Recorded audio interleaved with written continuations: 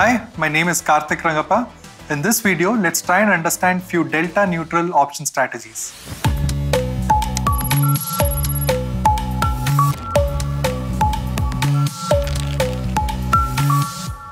Imagine a situation where you don't have clarity on which direction the stock will move. For example, assume Biocon will announce its quarterly results tomorrow. If the results are good, then the stock price will rally.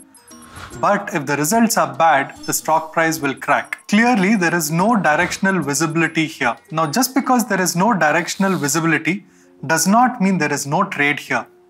Remember, we know that the stock price will move it's just that we don't know in which direction it will move. Now the question is, can we trade this? Of course, options enable you to trade such situations where there is no clarity on the directional movement of a stock. Such strategies where you set up a trade which is independent of the directional movement is called the delta neutral strategies. The simplest form of a delta neutral strategy is a long straddle. And we'll discuss the long straddle in this video. In a long straddle, you simply buy an ATM call and put option. After you buy, if the stock price increases, then the position on long call starts to make money. But after you buy, if the stock price decreases, then the put option will start making money. Now, before we proceed, think about the deltas here. We are buying an at the money call and at the money put. What do you think is the overall delta of this position? That should be fairly straightforward for you to calculate. Remember, we've already discussed delta in this video series. The at the money call option will have a delta of 0.5 and the at the money put option will have a delta of negative 0.5. So plus 0.5 minus 0.5, the overall delta is zero. Whenever the overall delta is zero, such positions are called delta neutral. Let me go back to my Sensibull account to demonstrate how to set up a long straddle. Once I've logged into the account, I go back to the strategy wizard and click on build a new custom strategy. I'm choosing Bank Nifty, which is trading at 37,740. So the strike that is closest to 37,740 becomes the at the money option. One thing to remember when you're setting up a long straddle ensure that you're dealing with the same underlying, same expiry. And if you're buying one lot of call options, you have to buy one lot of put options as well.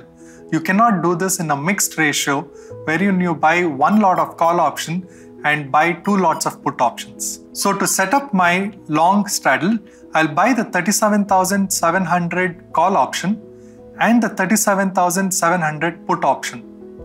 There is a combined premium that I have to pay here the 37,700 call option is trading at 820 and the 37,700 put option is trading at 654.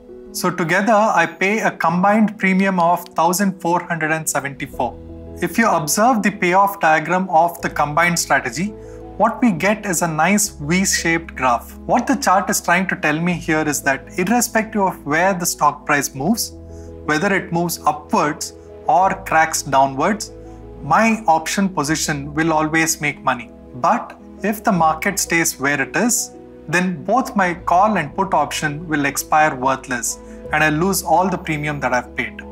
While a long straddle may look very attractive, there are a few other things that you need to remember. In a long straddle, you're essentially buying options. Now remember, theta always works against an option buyer. So essentially, when you set up a long straddle, theta is working against you.